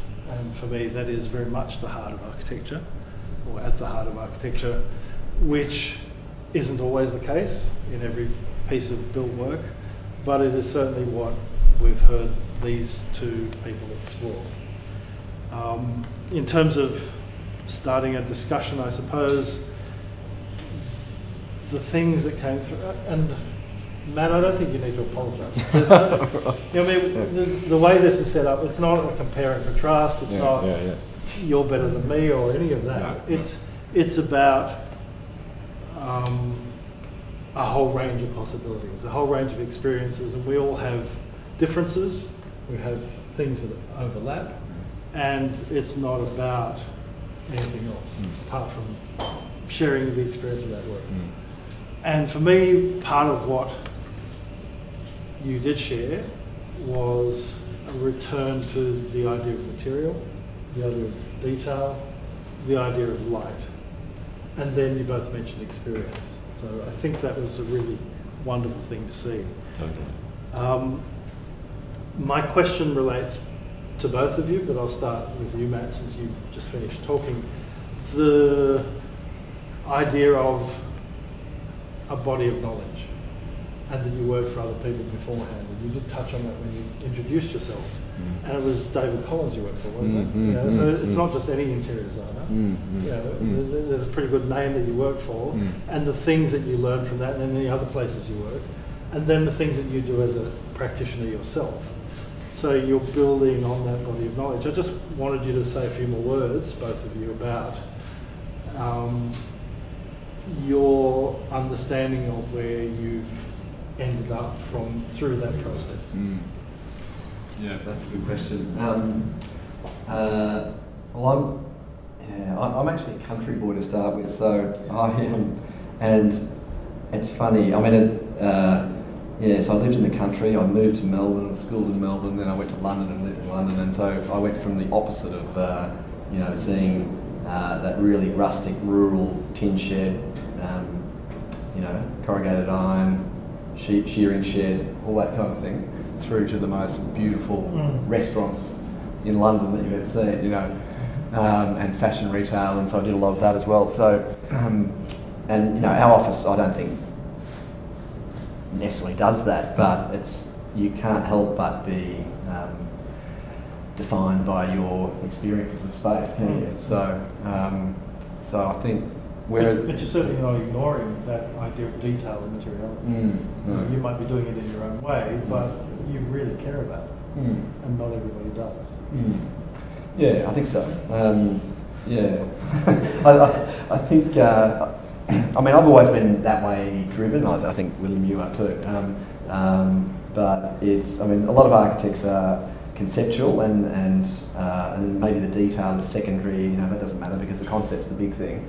Um, and then there's other architects that. Uh, you know, detail is um, everything, you know. Um, and there's that poetic and there's that more conceptual um, social comment, if you like. Um, you know, there's these three different areas of architecture. There was a great, um, I think uh, Leon van Schaik had a, a, a map of um, all the architects in Australia and he popped them in different kind of areas. Um, so I, I think we're probably more in that detail zone, and that's what makes us tick. I mean, I um, that's what kind of drives me. I get a real kick out of you know doing something new or exploring something beyond what you know you've done before, and that's about detail And making it work. and making it work. Yeah. yeah. Maybe William, do you want to talk about just that body of knowledge and where it's taken you? Um, I'm also from the country, um, but I, I ended up working in London for Norman Foster, and I, I remember on my first day there, I was asked to work on a reception counter, and um, and I thought I did. I thought I nailed it. Actually, I was really happy with what I did, and then the associate looked at it and said, "That's not how we do it here." Um, and they threw it in the bin and they said, "Go and copy one from another project and make it fit this situation." And and at the time I thought that was absurd, and then I learnt that they had their way of doing that, and my time there was to learn how they did that. Um, after a few years of that, you kind of learnt their way of working, and then um, the journey of my practice was started when I felt like I needed to discover who I was and what I wanted to do and what I liked, and and therefore all the work that I do is about that exploration. And um, the little, you know, the, it kind of evolves for me over time. And. Uh, I've been doing it for nearly 20 years now, so there's a whole series of projects that build up to a, an amazing project like Indigo Slam, and along the way, um, things have happened, and, and the reason why that little story about the language and the poetry and the sculpture happened is just that I was running one day in a park and I saw this piece of sculpture and I thought that's that's it, that's exactly what I've been trying to do in my work.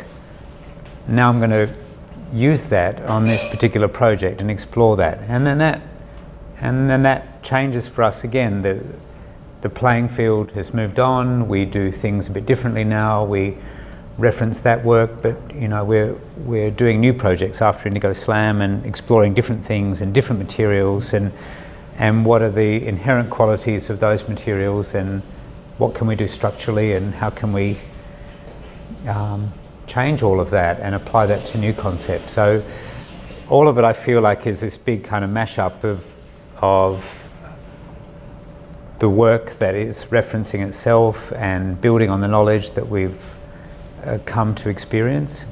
Mm. Um, and it's, it's constantly growing and evolving, which is kind of why I wanted to show something like the Rail Operations Centre, which is, you know, again, a kind of budget driven project, but incredibly ambitious in building 66 metre long arches and seeing if we can pull that off, and then what do you do with all that? I think it's obvious that there's been this transition through your body of work.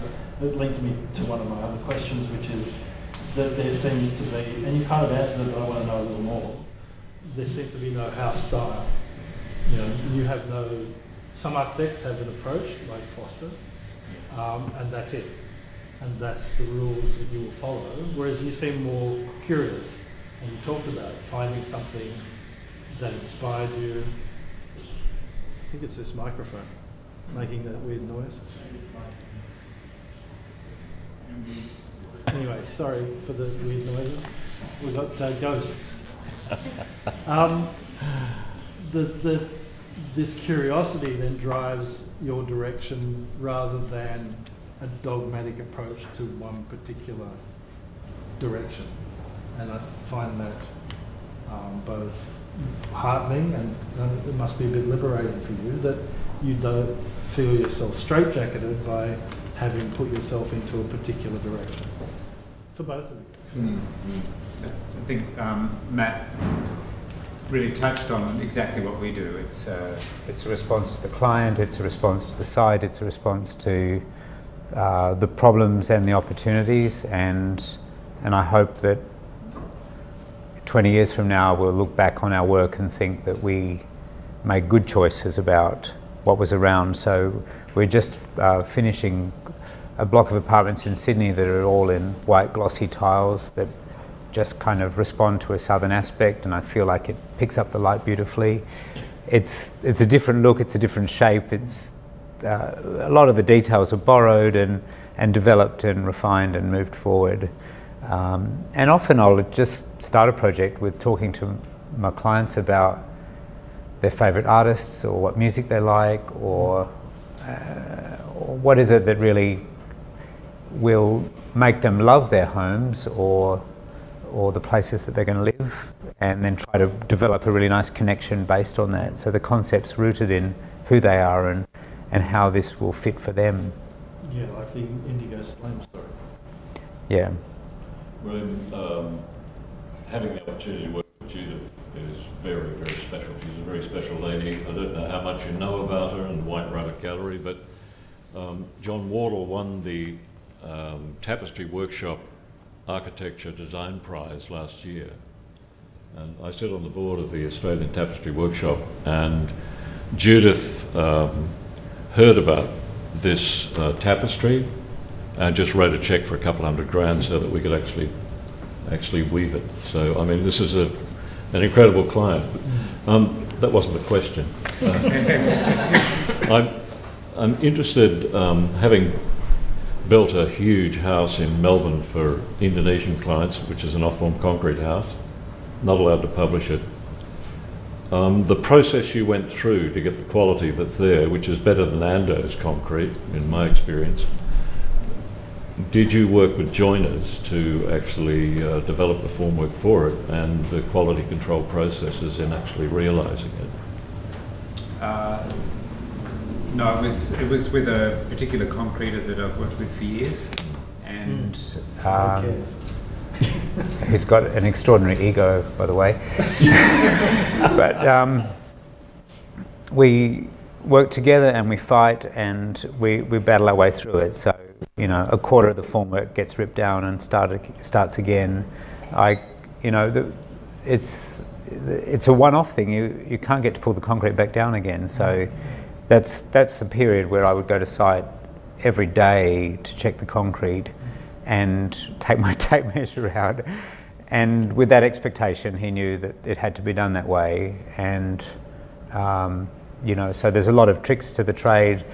So to curve the formwork, it's, it's many sheets of form that are laid over each other. So we have six mil sheets of veneer instead of 20, and then we laminate them up all of the, the formwork is templated, so uh, to make a curve like that, there is almost like um, joists that are made up, and so all the framework goes up in curves, and then we measure and check that, and then the layers of plywood go on, and the tie rods go through, and the reinforcing, and so forth.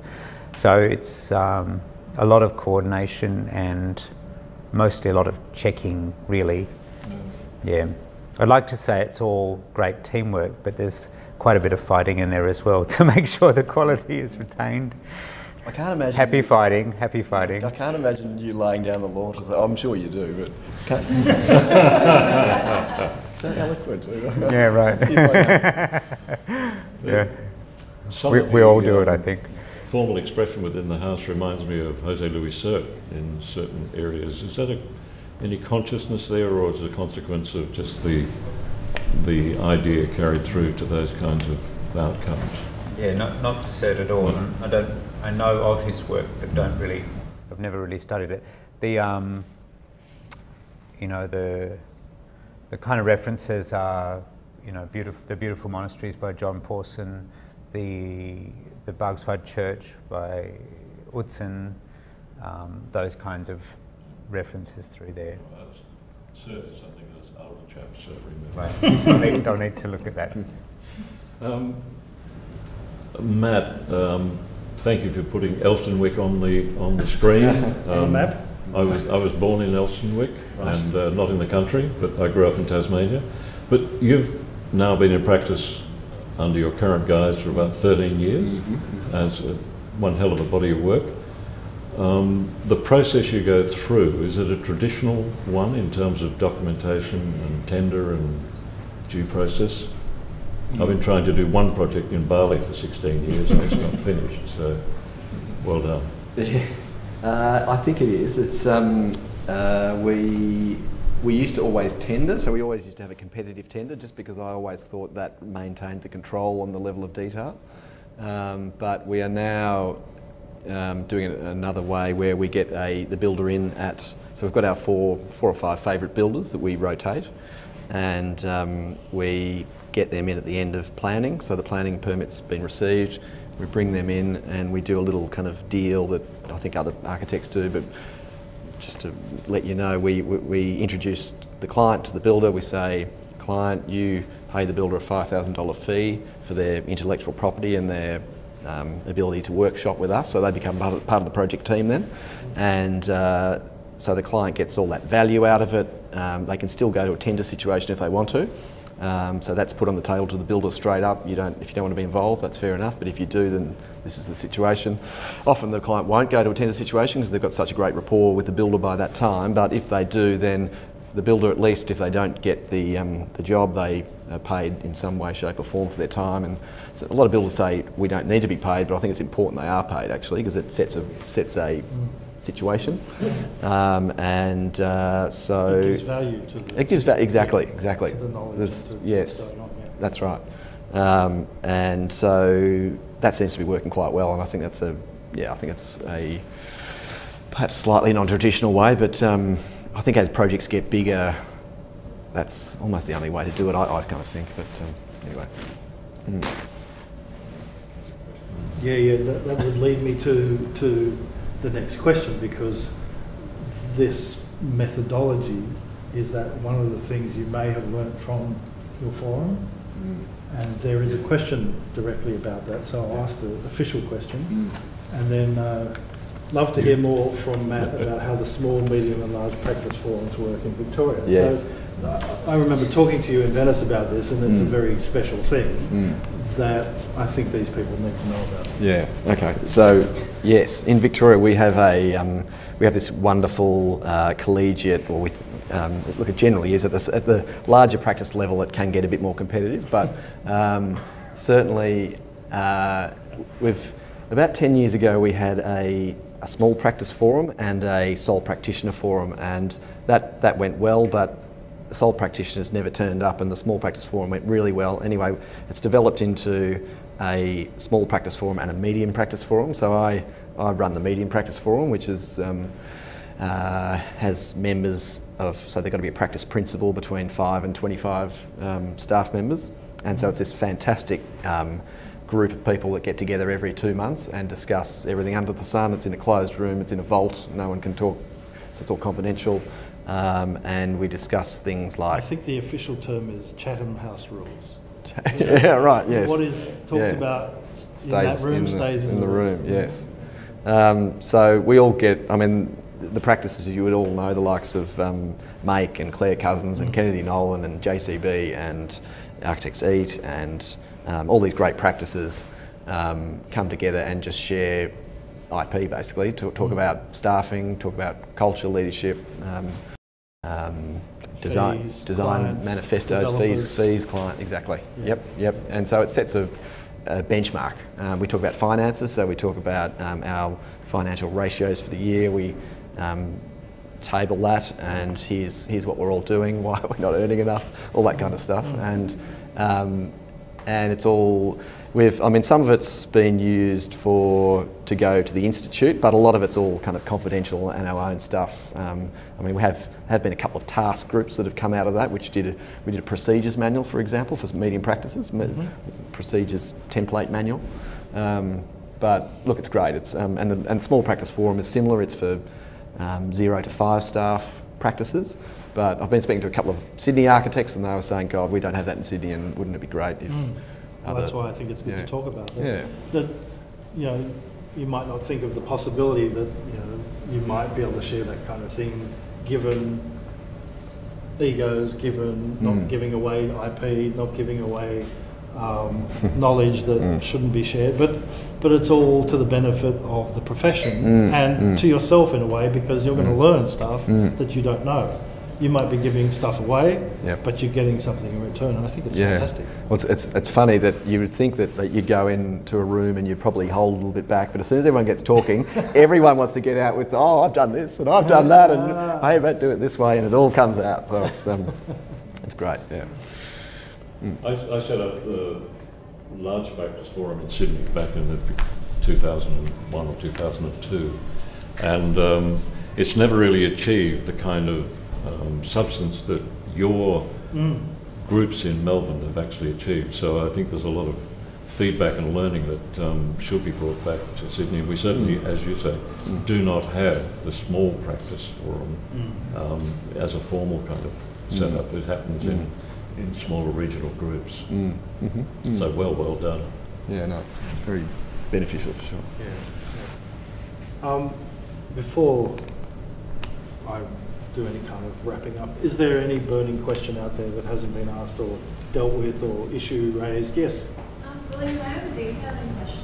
Yes. Your brick floors in both your projects are amazing. Can you tell us a bit about how they're constructed without visible water? Good question. Um, the bricks are all just loose, loose lay. So we'll pushed into, just glued down like tiles.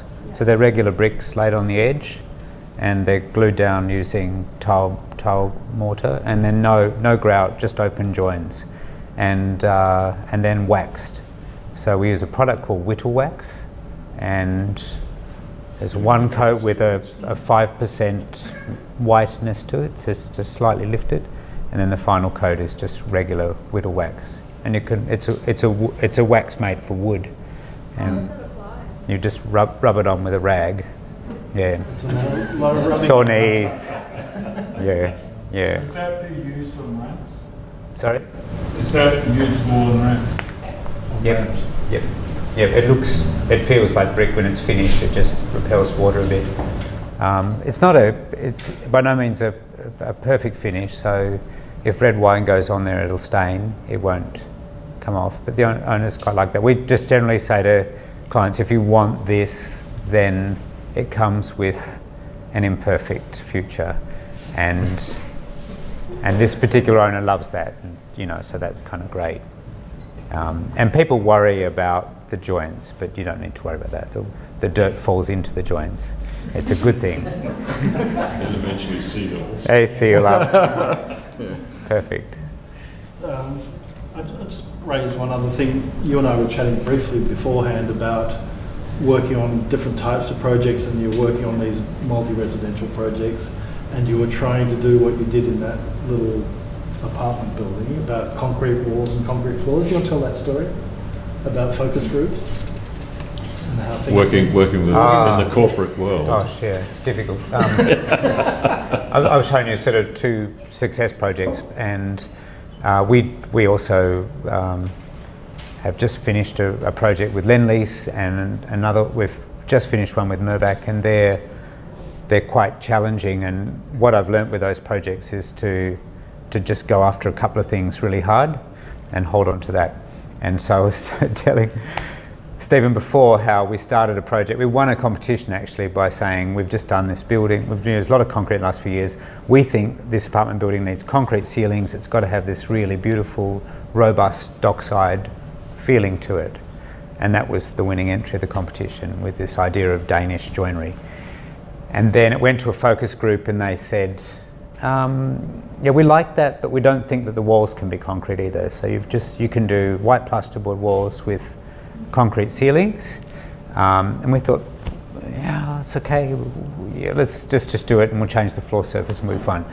And then I went to another focus group and they said that the market may not like that. So you can do a feature concrete area of the ceiling and most of it's got to be plasterboard. and then we thought, no, it's just canned concrete altogether and we'll do a really lovely stucco finish. And then went to another focus group and they canned that. So um, what I, what I've really learned in that process, yeah, is it's those projects are also about a lot of compromise and and just kind of really holding firm on a few things. We we say this is critical, and we're not going to um, give in on that. And we're doing a 26-story brick building in the city. It's a hotel, and um, in uh, total stubbornness, I've just represented the. F- I've been told four times to change the facade and I've come up with four different options, and they've finally given in on the fourth option. I'm just delighted, but it takes a lot of perseverance as well to try and not be bowled over by um, pushy developers and and people who, who don't really care about quality. I, I went to this great uh, landscape talk in the city um, a couple of years ago by this incredible Chilean uh, landscape architect by the name of Teresa Moller. She does a most amazing poetic work and she has a translator and she was telling these wonderful stories about how she worked with landscapes and trees and so forth. And someone in the audience said at the end, it must be easier in Chile than it is here because we have all this red tape and it's so difficult in Australia. And then the translator just took over and they said, oh my God, it's so hard, you know, this woman works so hard, she's so um, stubborn, she's so difficult, the clients kind of hate her at points, and they get to the end and they realise how, how great it is. And we kind of go through that journey as well, uh, maybe not to the same beautiful ends that she does, but There there's a, lot of a, a lot of perseverance and, you know, kind of um, negotiations, I'll call it, to try and get a really good outcome, and, you know, a lot of double up work to try and push through. Can I, can I ask William the, um, the circumstances in Sydney with the competitive design process? How do you find yourself um, within that kind of um, situation and um, the consequence of of dealing with um, with the outcomes of of the competitive process uh, itself? Um, there's, so I don't know if you know, but in Sydney, when it's a major building, so it's over 50 metres in height or In the city of- 25, in the city of Sydney. 25 million in value, then it must go to competitive process, and they select between three and five architects to do it. Um, for us, it's been very good, and um, there's a few good things about it. What's hard for us is it costs so much to enter the comp. So you get paid 50 grand, it costs us 100 to do it, and if you lose three in a year, then it's not good. Um, but there's rules of the competition. So the rules are once the competition winner is chosen, then the uh, design must be adhered to, and it really the city is incredibly supportive of maintaining the design control, and so we um, try to really lock that down in a DA stage, and and the quality of buildings in the city of Sydney is, is really improving as a result of this, and it's also giving a lot of new young players um, a foot into the markets. It's sort of it's lifting quality. It's getting more diversity. Um, the support of the city is tremendous. It's been very successful, I think. and it's a process that's growing into the outer um, Yeah. councils and Yeah. uh, Yeah, as bit of a well. So, other people So followed. you're saying that legislating for quality is actually producing quality rather than the people arguing about the nanny state, we've got to have less legislation. That's a very critical legislation saying that you've got to have competitive um, design competitions, then adhere to it. Is Yes. that part of the improvement? Because we don't have it in Queensland. Yeah, it d- definitely is. So, um, what it what it really does is uh, it takes it puts you into a point in time where someone will look at your work and say, "Is this the best of these entries?" So, to get to that point, you have a brief and you have a set of controls, and most of the time we enter them, we think this control is ludicrous or there's a better way of doing this and then we'll we will make a calculated risk on breaking a breaking a rule or breaking a control and and it takes the jury to a point in time when they look at that and they say here are the rules this is the outcome does it really make sense and so what you get in the city is often rules which are not straight out of the box solutions that are responses to controls but they are creative responses um, you can also get knocked out of the comp by doing that. So I've had that happen before as well. Broken the rules, you're out of the game. But generally, I think it, it opens that up. And also, what it so so the jury is forced to make a decision on things that comply and don't at the same time, rather than planners doing that. And So and often architects on the jury, is that right? That's it? Yes. yeah, yeah. The, the jury is led by often very esteemed architects, and they'll make really um, sensible decisions about those things. So that's changing the dynamic. It is. Yep, Totally. It is. You know, it comes with certain flaws as well, but it has improved the quality of the built environment in the city of Sydney. What are the flaws? Oh, we don't have enough time for that. Right? I'll talk to you afterwards, perhaps. But uh, James had a question, so let's go to him before we wrap up. As, I guess, a, a, a builder in terms of materials and how you put materials together, I've certainly used, but my question is more about, to both of you, where do you go for a morning coffee at 9 a.m. on a winter morning? And I think there are some buildings, places that have been put forward where you can find a space to do that. And then what is the experience when you find that space? Um, um, so you go for a coffee and so Within, within the project? within the project, so within a house or so I, I don't. Within what you've both put forward. Yeah. So yeah, so I don't, quite understand the question. So I sit there in my house and, Yep. and there is a spot where I sit in winter sun Yep. and and you hear and smell and enjoy actually where you are. Mm. And I think that came across in some projects, but, Mm. but some of them. Mm. And I'd love to know how, how both of you see that you actually live in your places Mm. you design on those occasions.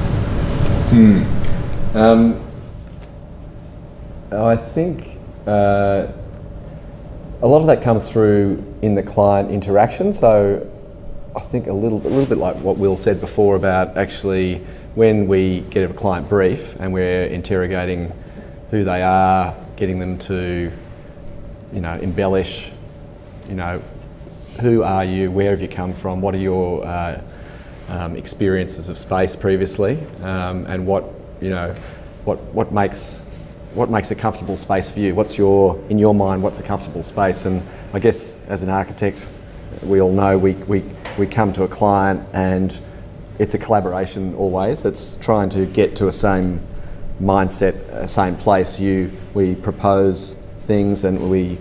Um, you try to meet at a level, and I guess every client is different for us and, and for all of us and for Will, um, and which is the exciting thing about it that you you have um, different things come out of that and they don't all look the same and um, and so I, I think what you're saying is uh, those little moments of um, kind of beauty or um, reflection. I don't know those little special moments in a place. Is that what you're talking about?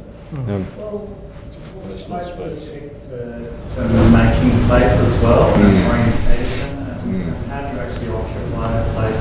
And I put forward winter because it's the hard, winter morning is the hardest time to Mm. deal with. mm, So you can find a beautiful place, you know, people kind of cruising around Italy, and you go, where do I get a lovely spot to have a coffee in the sun? mm, So I think if you can't do that in a project, mm, then mm. it, it, it might be flawed. So where does that happen in It's your typical change. Yeah. Um, well, uh, I mean, we do. We have different. I mean, in the shadow house, for example, we had a lovely west-facing. Uh, well, all that window is west-facing, in fact. So, um, and there's a little uh, kind of little snug area. I mean, this is just an example. This is one particular place, but um, it's one of those areas where you can. I don't know. For me, it was a a, a place where you can sit down, read a book, um, look out at the garden. Um, imagine yourself in another place, be swept away from where you are. Um, but there's all sorts of that is I don't know. When I'm thinking about space, I'm thinking about the emotional aspects of space. So I kind of I think we think I think I think more inside out than outside in. I'm thinking about how light comes in, how um, textures and materials play off. Um, yeah, it's, it's kind of a there's a, lot, there's a holistic thing. There's a lot of things going on, but um, I think it's a very big question. Do you have one little comment yeah. before? and maybe we can. You can have a chat with James after. The, um, the Indigo Slam house is north facing and is very tall, um, kind of glass windows and has great uh, winter light. Um, I would I'd just like to sort of say on that point that the relationship that we develop goes down to the point of do you want to look out the window when you're having a shower and do you care about people seeing you? And when you're having a bath how do you like to look? And and how many handbags do you have? And do you roll your socks up? Uh, it's we get down to that point of detail and then the design in the end reflects that. So the Indigo Slam house has a an arrow slit that looks down a particular view that goes to chest height for my 70 year old client um, so she can have a shower and look at the day. Um, so we do we do kind of get down to that level of um, bespoke design of the house, and to the point of where do you have coffee, how do you like to cook, you know, where do where does everything in your kitchen go, and in the end it all kind of fits. I got the, the nicest letter from her at the end that just said. Um, it said I, I actually don't like the tap in my house, and apart from that, I love everything about it. so we're changing the tap now. Um, but the, you know, it was all the little surprises. There's powerpoints in the back of the drawers for the hairdryer, and you know, kind of lots of thinking and care about all those things. So it's it's like a glove, I think, um, a glove to store your stuff, but also to enjoy your day and and uh, and your art and all the, the lovely things you have. Well, I think we've we've certainly enjoyed our day. And thank you again both for wonderful presentations. Thank you to the audience for coming in the first place. Thank you for sticking around. Please stay. We've got some more drinks. Come and have a chat to these guys. James, you can wait till the end. Um, uh, and if you're not on if you're not on the mailing list, please talk to the Brickworks people. Get yourself on there. Let your friends know. We're going to continue this. We're going to have more great speakers come and talk to you. Thank you very much.